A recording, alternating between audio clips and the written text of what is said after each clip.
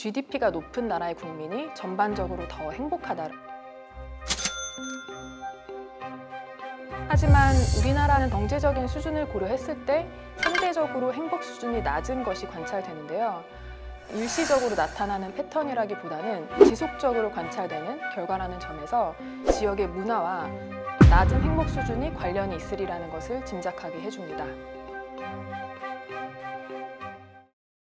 안녕하세요. 고려대학교 심리학부에서 연구하고 교육하고 있는 최은수입니다.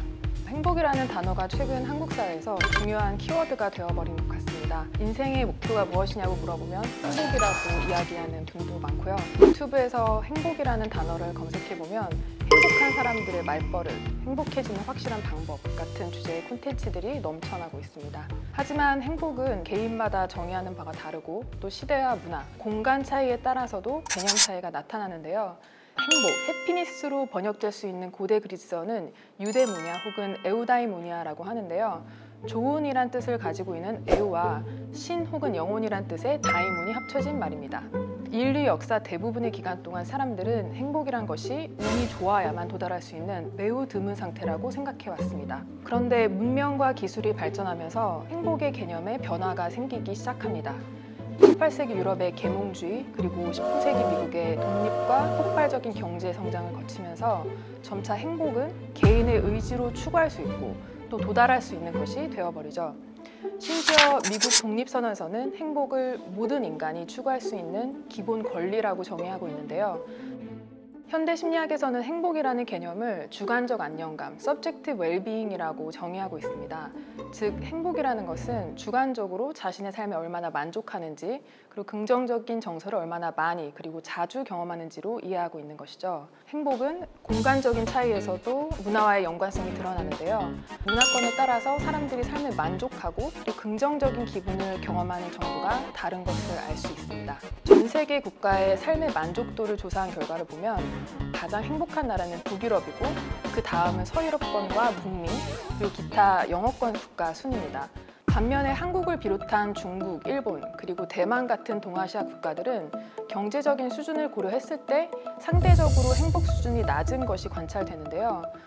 경제 수준을 고려하는 이유는 경제 수준과 행복이 매우 밀접한 관련이 있기 때문입니다. 전 세계 국가의 국민 1인당 총생산 GDP와 행복의 관계를 그래프로 그려보면 비례 관계를 이루고 있다는 것을 알 수 있는데 쉽게 말해서 GDP가 높은 나라의 국민이 전반적으로 더 행복하다라는 뜻입니다. 하지만 우리나라와 일본, 중국은 GDP가 비슷한 다른 나라보다 행복 수준이 낮은데요. 이것은 일시적으로 나타나는 패턴이라기보다는 지속적으로 관찰되는 결과라는 점에서 이 지역의 문화와 낮은 행복 수준이 관련이 있으리라는 것을 짐작하게 해줍니다. 그렇다면 한국과 일본 그리고 중국이 공유하고 있는 문화는 무엇일까요? 세 나라는 소위 집단주의적인 문화권으로 분류되는 나라입니다. 그렇다면 집단주의 문화의 어떠한 면이 행복 수준을 낮아지게 하는 걸까요? 집단주의와 개인주의의 근본적인 차이점은 바로 나라는 존재를 바라보는 관점입니다. 이런 자아를 구성하는 핵심적인 요소는 내가 가진 태도, 성격, 취향, 선호 같은 개인 내적인 특성들입니다. 개인주의 문화에서 자아는 독립적인 존재이죠. 반면에 집단주의 문화에서 자아는 상호 의존적인 존재로 자아의 정체성은 맥락과 관계에 따라서 달라지는데요. 연세대학교 서은국 교수님이 하신 연구가 이런 동서양 자아관 차이를 잘 보여줍니다. 한국인과 미국인에게 자신의 성격 특성을 스스로 평가하게 하는데요. 미국 사람들은 누구와 함께 있는지와 상관없이 일관되게 평가를 했지만 한국인은 누구와 함께 있는지에 따라 다르게 평가했습니다. 즉, 한국인들은 자신의 성격이 고정된 것이 아니라 관계와 역할에 따라서 유연하게 변한다고 믿고 있다는 것입니다. 혹시 여러분은 과거의 일을 회상할 때 어떤 시점 혹은 누구의 시점으로 회상하시나요? 과거로 돌아가서 다시 그 경험을 경험하는 것처럼 1인칭 주인공 시점으로 회상을 하시나요? 아니면 여러분 자신 바깥에서 마치 다른 사람을 보는 것처럼 3인칭 시점으로 회상하시나요? 연구에 의하면 동양 사람은 서양 사람에 비해서 제3자가 바라보듯이 자신을 바라보는 관점으로 회상하는 것으로 나타났습니다.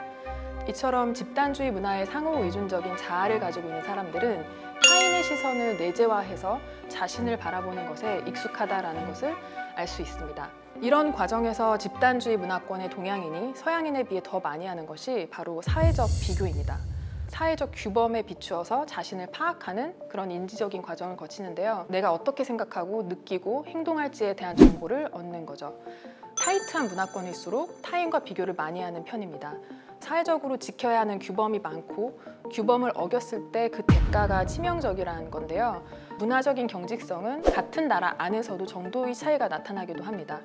미국 각 주의 지역 문화가 얼마나 타이트한지, 사회적 비교는 얼마나 많이 하는지를 대조해 보면 규범이 더 타이트한 지역의 사람들이 사회적 비교를 더 많이 한다는 것을 확인할 수 있습니다. 그렇다면 우리나라의 문화는 세계적인 기준에서 경직된 편일까요? 아니면 느슨한 편일까요? 전 세계 35개국을 대상으로 조사한 결과 파키스탄, 말레이시아, 싱가포르 같은 이슬람 종교 문화권 다음으로 경직된 문화를 가지고 있는 것으로 나타났습니다. 엄격한 문화권에서 살고 있는 우리나라 사람들이 다른 사람과 자신을 많이 비교하고 사회적 기준에 민감한 것은 그렇게 놀라운 일이 아닐 것입니다. 다른 사람의 생각과 의견에 자신을 비추어 보고 정보를 탐색하고 취합하는 사회적 비교 과정은 그 자체로는 부정적이라고 할 수는 없습니다. 오히려 사회적 비교는 우리가 복잡하고 미묘한 사회적 관계에서 잘 적응하고 성공적으로 타인과 협동하기 위해서 꼭 필요한 과정이라고 할 수 있는데요. 우리를 둘러싼 환경과 문화적 특성이 우리의 정체성과 마음 작용에 미치는 영향을 분석적으로 살펴보는 것은 우리 스스로를 더 잘 이해하는 길을 제공해 준다고 믿습니다. 문화적 환경에 영향을 받아서 형성되는 개인의 심리지만 동시에 문화를 형성하는 주체이고 생산자이기 때문에 환경에 수동적으로 영향을 받기만 하는 존재가 아니라 문화적인 규범과 분위기를 바꿀 수도 있는 존재라는 걸 기억하셨으면 좋겠습니다.